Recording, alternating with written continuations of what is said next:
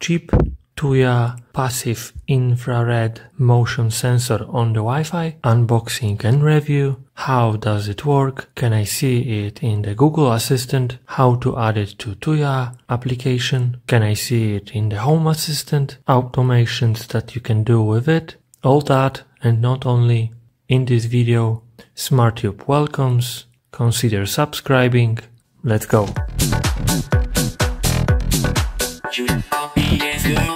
Today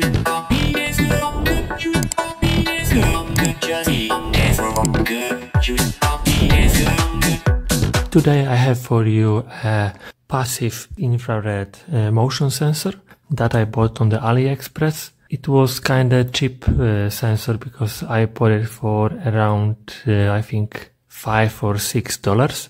So it is a Wi-Fi version. So it means that it won't have a button battery. It will have a much bigger battery and the sensor will be much bigger. We need three AAA batteries on the box you can see how it looks like, that it works on the Wi-Fi, that is a passive infrared motion sensor, it works with Tuya.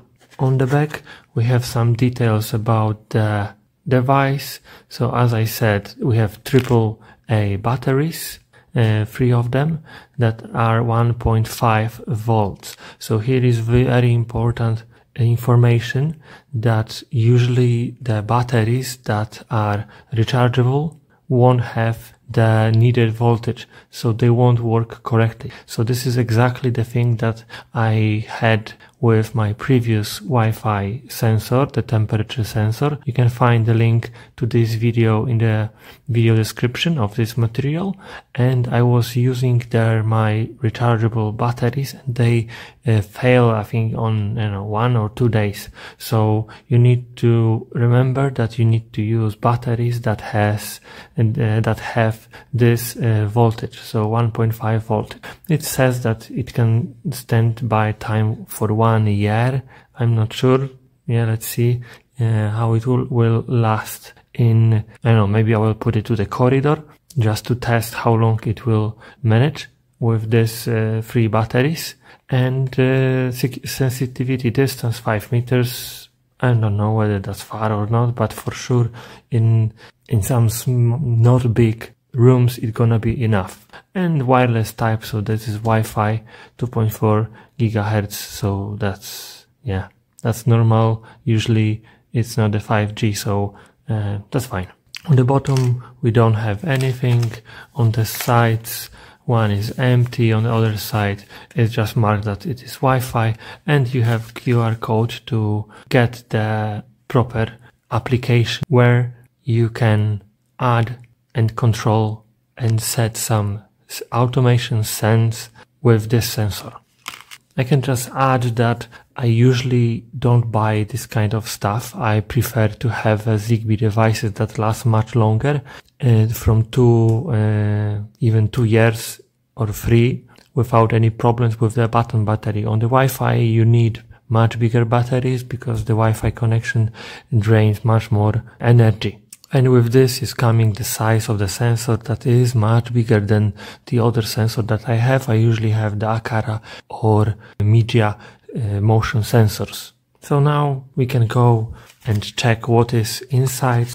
Let's open it. wow, the sensor is really big. Hmm. That's it. So this is the sensor. Okay, the plastic. Um, it's not very wide on the camera it seems to be white, but it's a bit dark. It's very light. When I put the batteries for sure it won't be light. But what we have here, so here is the sensors. Here are the sensors.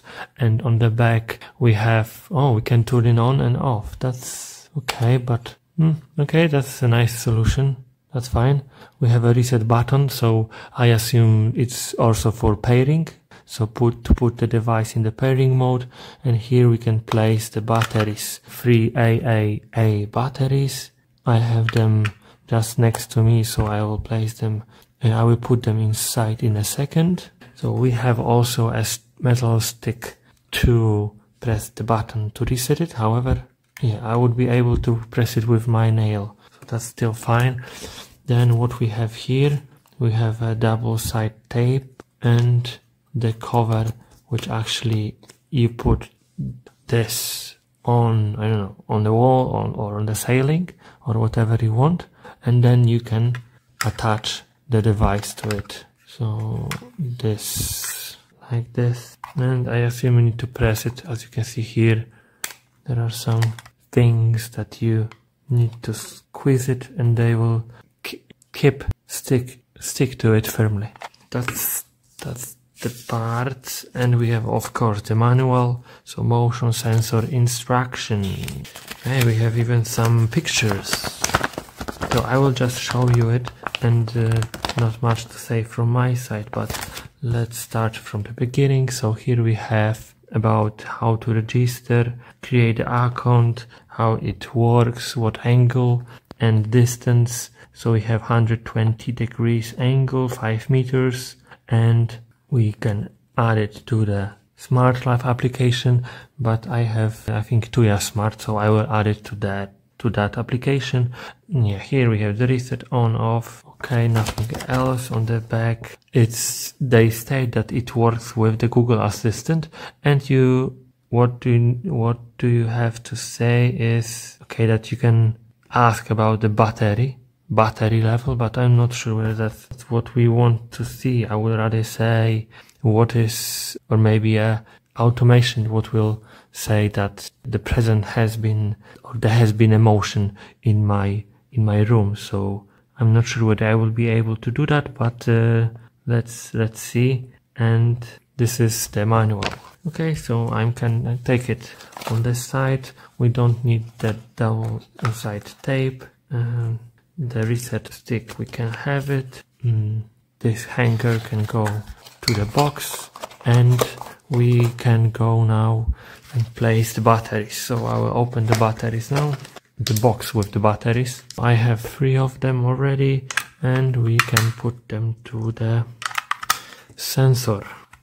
Oh nice blue light and it's now blinking. So I assume it is in the pairing mode but we don't need to rush. We can reset it in a second. So on the side I have a tablet which is in which I have opened already the Tuya Smart application. So here Tuya Smart. Sorry for having like that but I thought that it's nice to see two things at the same time. So I have I don't want to have two cameras so I have one camera and I hope you will feel with it okay. I'm in the app you can see my lights but okay. So what I will do now I will reset it. Or maybe let's first close the back. Okay. So now what I will do I will reset it. So oh maybe this how this just to see the top. Oh no.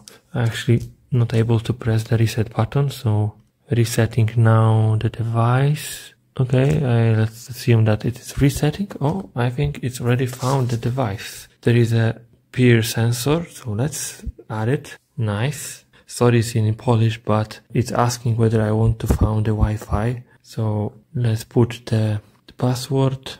Okay. Now I set, I put the password and now it's trying to add the sensor.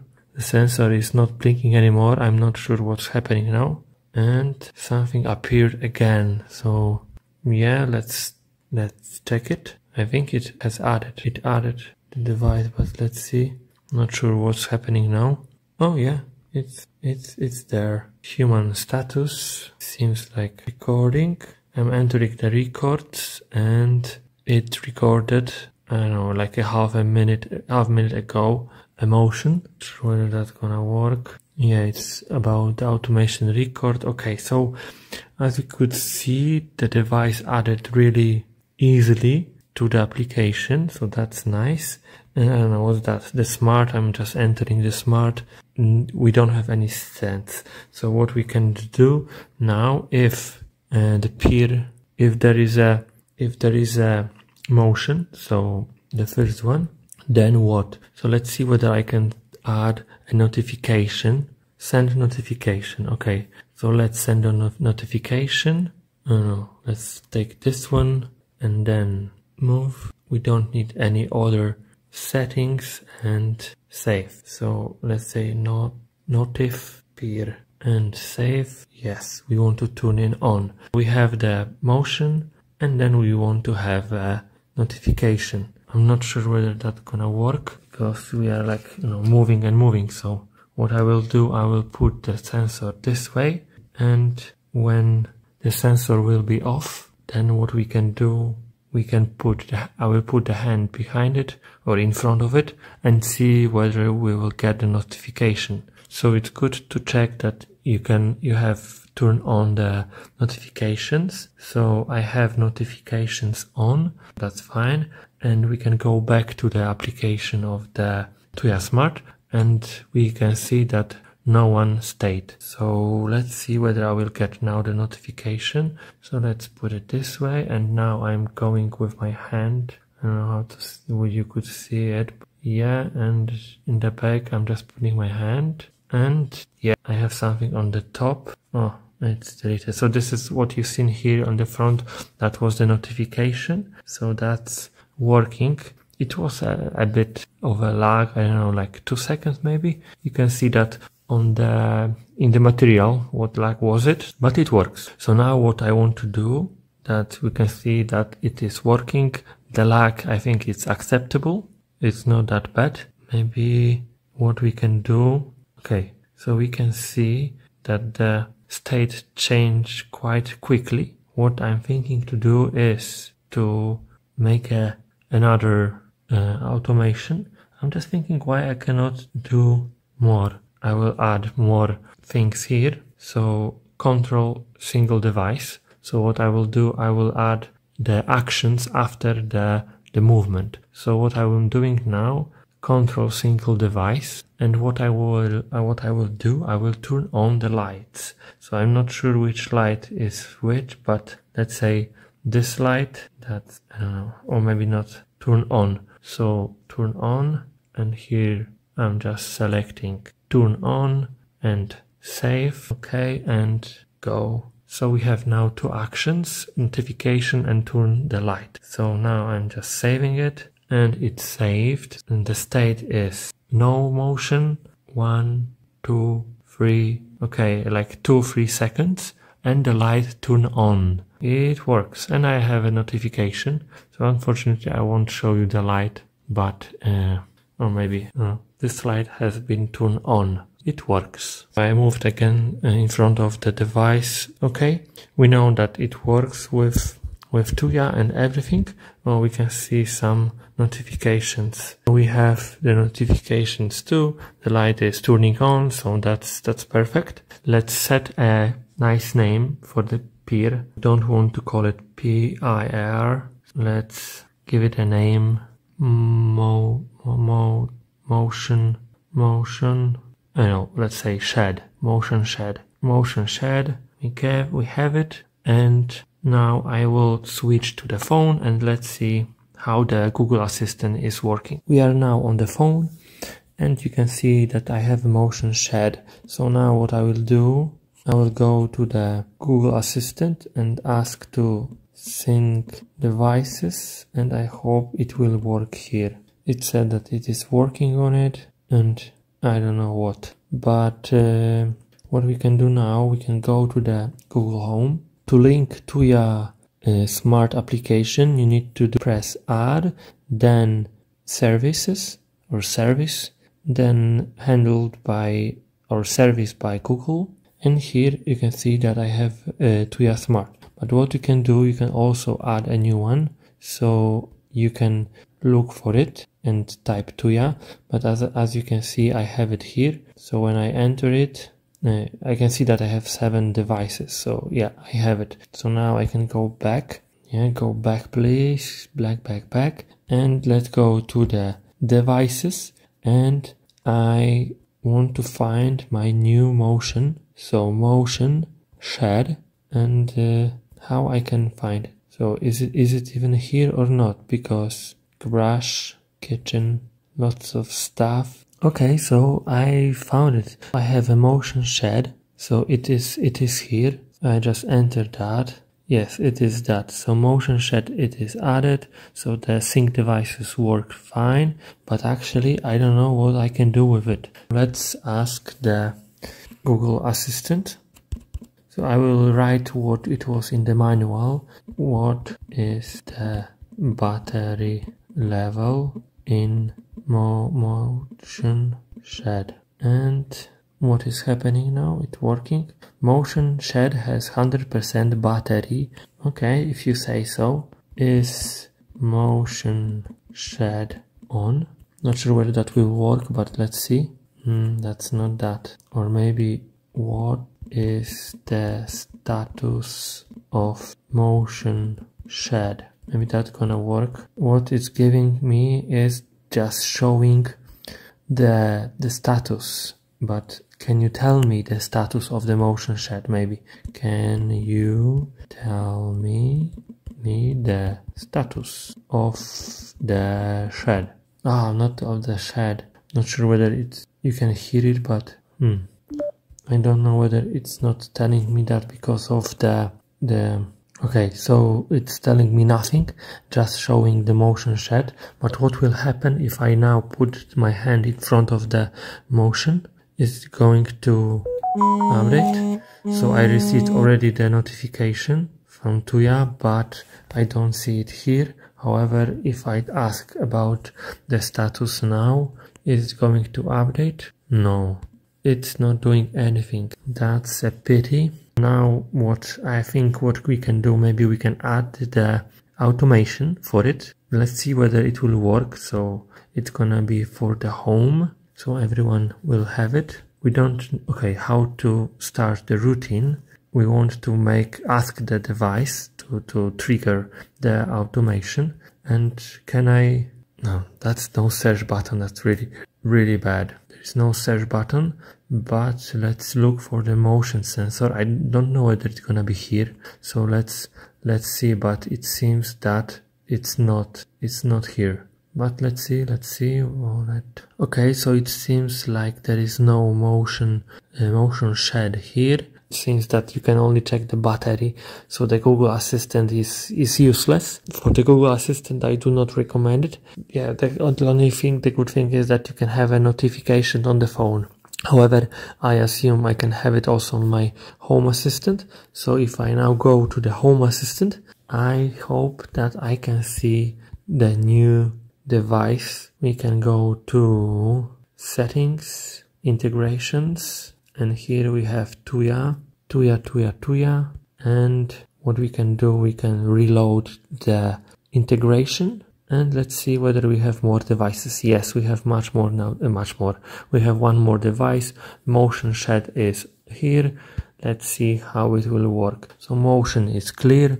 Yes so here i think it was oh I even got it the the sensor changed its status before I got the notification. So the motion is working in the home assistant without any problems. I will not tell you how to add the Tuya devices to home assistant as it's very easy I can I, I think I may cover that in my other videos about home assistant however it's just adding the integration or through HACS the Tuya local and then you add the integration and you are fine.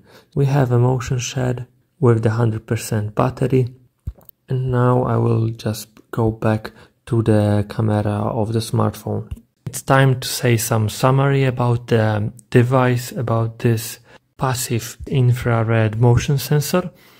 I don't like the devices that work on the Wi-Fi, so it's hard to say whether I should recommend that or not. For sure, the things on the Wi-Fi doesn't, uh, the thing, the things on the Wi-Fi do not need any hub, so any gateway, uh, because the Zigbee devices needs to connect first to the gateway, which is connected to the uh, router. That's the main two difference between the Wi-Fi devices and the Zigbee. And if you can accept that it will just connect by the Wi-Fi and this, the, the size of the device, it's much bigger, then, uh, you know, it, it, it, it, then it should be fine for you. For me, the device is a bit too, too big, so I prefer the Zigbee devices, but I, I cannot say anything wrong about this device for now because it could handle all the movements. So I move it in front of it. Yeah, I, I used hand, but I also did some tests when I was just walking, when I was just passing through uh, near it and it was uh, seeing me. So the sensor is working. I was like two or three meters away from the sensor and everything was fine. The price is really low. It's uh, usually the Wi-Fi sensors are a bit cheaper than the Zigbee based on what I've seen, but the, the but the difference is not big. It's cheap. It doesn't need any gateway, any hub to connect to. It can connect straight to the Wi-Fi.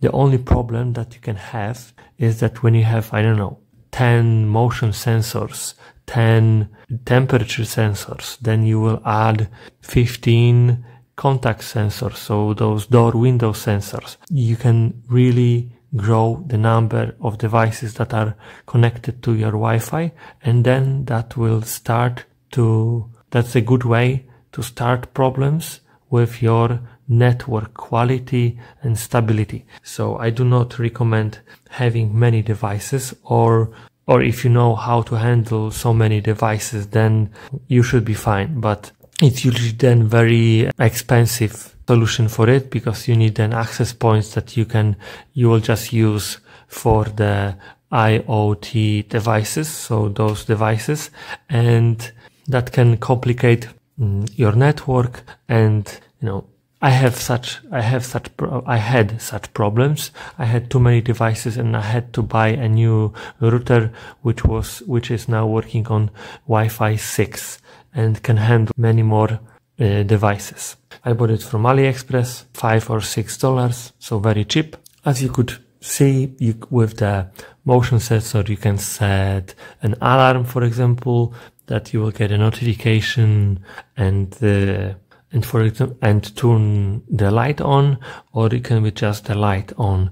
If you enter the, the bathroom, the toilet, or any other room, you can turn on the light thanks to that sensor. If you have other uh, if you have lights that work, uh, that are in the, that works with, uh, that are powered by, by Tuya, or if you have Home Assistant, then you have more possibilities with this device so you can create much more automation sense and whatever you think about. From me, that's gonna be everything. So thank you for your attention. Consider subscribing and see you next time.